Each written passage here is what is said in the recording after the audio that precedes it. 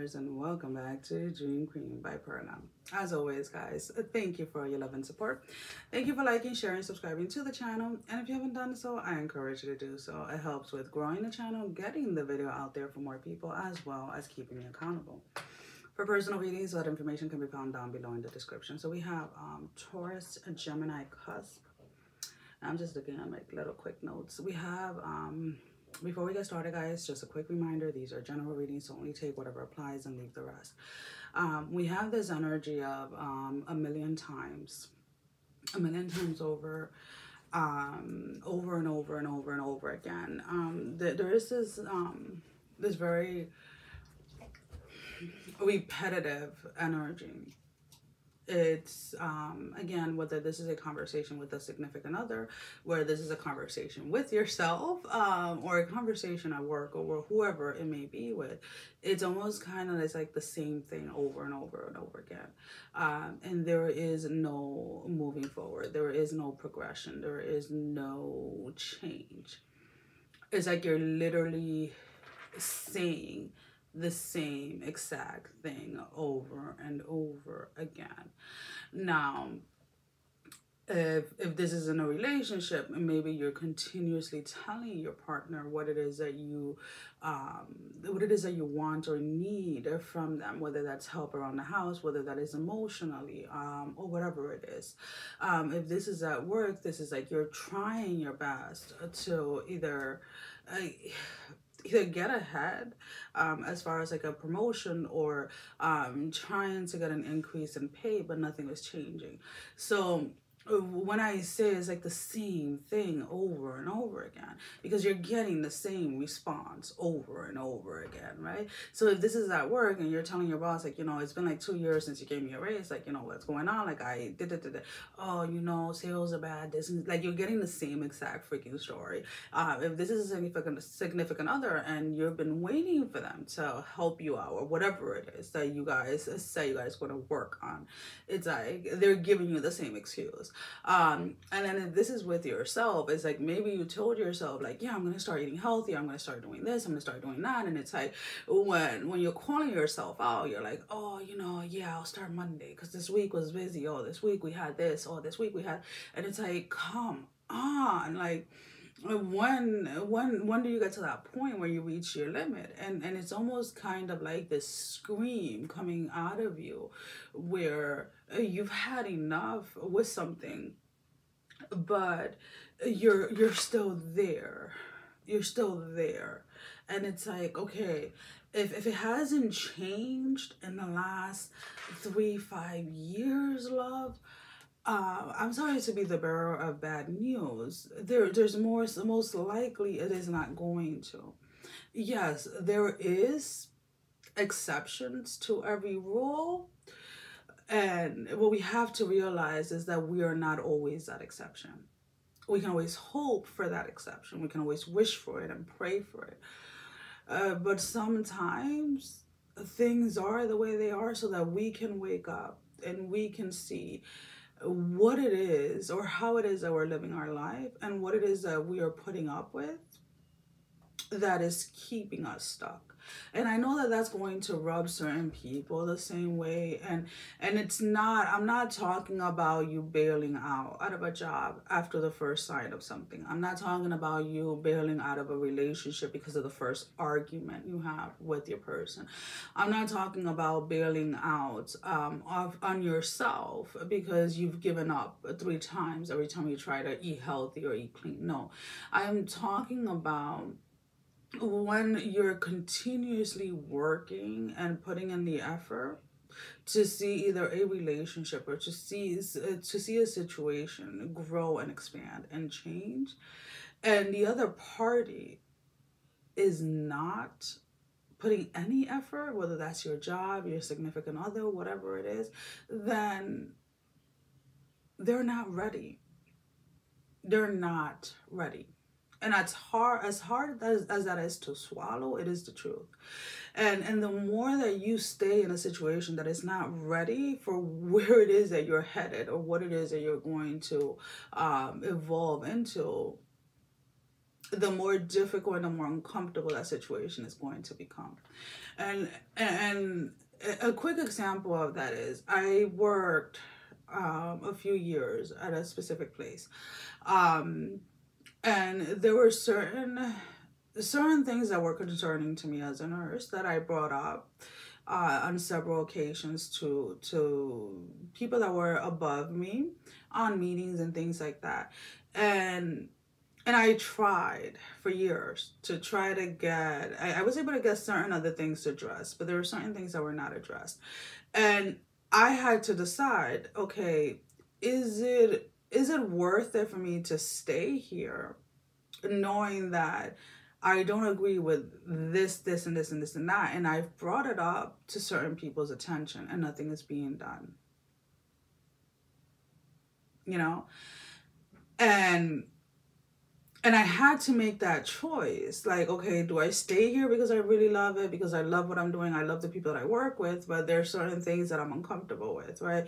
And and when you are in charge of people's life, right, it, it becomes kind of like, okay, if I stay here, like I've seen it, I see people in my position as a nurse get thrown under the bus for for things that were brought up ahead of time, right? And and that's kind of like the way that I'm talking or the what I'm talking about, right? So I'm not telling anybody here to go ahead and call it quits on anything, but you have to also know when enough is enough. Alrighty, so let's go ahead and let's pull out a few tarot. Um, because some of you are in, in this notion of like you uh, maybe calling it quits or maybe leaving a situation or leaving a person is not something that you do. And and I get it but then then you're gonna have to get comfortable with the idea that this is as good as it gets at least until this person is ready to to commit or ready to put the work in for themselves is it guaranteed that it's going to happen in the next five years, 10 years? No. Could it happen in the next year? Could. But that's a choice that you have to make. I I personally know women in their 60s and 50s that have been in relationship and the same thing these men were doing when they were early on in the relationship, like whether they were in their 20s or their 30s or whatever it was, they're still doing till this day.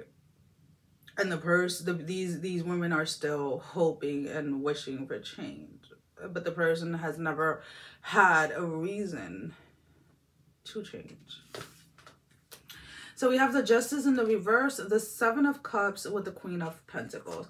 Um, what it is that you are expecting or what it is that you want um, the outcome that you want is something that you're going to have to go and get for yourself um, this is a situation that is calling you to take a stand that is calling you to make a decision and to stop um, stop being in this space where you're waiting on other people. Or you're waiting on other people to change in order to progress or to move on in life. And again for those of you that get triggered by that um the, like there's nothing i can do or say um that's just the way that it's coming up. You you have to you have to realize that in order for you to there there are, there are a lot of times let's put it this way where the the the, the things that we are attached to the most are the things that have to be removed in order for us to grow and evolve. Um and if you get it you get it. If you don't at this moment in time um eventually you will right? And and it's almost kind of like this energy that if you want and i've said this before in plenty like in many different meetings if you want if you want change it has to start with you so let's go ahead and let's see what is in the love energy for you guys we are using the dark mirror deck Um, this is going to be a rough week. Let's put it this way for everyone because I am using these decks. So uh, these these cards, and when I go into like this space, when it goes into reading, is a lot of um um, the energies that usually come up are really a lot of like self-reflecting um darker what people would consider let's put it this way darker energies. Um and people tend to get triggered a lot. So i am aware of that. Um so definitely like you know and i don't mean to laugh in this in that sense. I'm just saying like it's okay for people to express and say whatever it is that they feel they have to say. Um but just kind of know that that's kind of like where what the energies have been this week. Um we have a number 23 revenge right? Um what what is it that it's almost kind of like this energy of like you you walking away you you walking away from any situation regardless of whatever it is you're not doing it to be vengeful. You're not doing it to be pitiful. You're not doing it to try to get revenge. Um and if that is because i feel that that for some of you this is a fear of of like not wanting to not wanting that person whether it's at work or whatever it is to feel like you're being revengeful. Um and to be honest with you, you have no control over how they see this. You have no control over how they feel in regards to it. If you're if you know that you walked away from something because you've had enough and it was literally um draining you, like draining your soul, draining your spirit, then that's it that's all you have to be accountable for in in the sense like that is all that you have to pay attention to how somebody else receives what you how you like how somebody else receives you walking away that is their business not yours. Now when i say that are are their feelings valid? Yes they are but they're not your responsibility. And, and i know again a lot of people are gonna be like oh my god you're so cold-hearted. No it's not about being cold-hearted.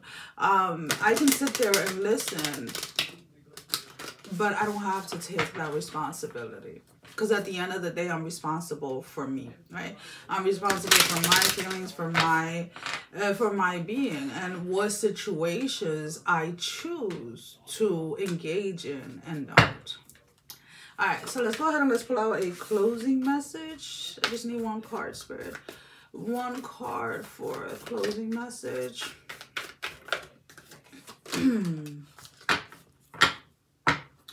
So we have your dreams need a practical plan, the full moon in a Taurus. So uh, again, a lot of you are in this space of like tired, let's put it this way, of, of talking or saying the same thing, uh, of living the same day over and over again you want change. You know what that change looks like a month or two months down the line, but you're having a difficult time trying to figure out how to put it into play, how to put it into motion. So, taking some time to sit with yourself and allow clarity to come through as to what steps are needed to be taken in order to allow this to, to come through or allow something to to finally manifest to allow yourself to start seeing that progress that may you may have not been seeing well, guys, that is all that I have. Sending every single one of you love, strength, and blessing, guys. Take care. Love you all. Bye-bye.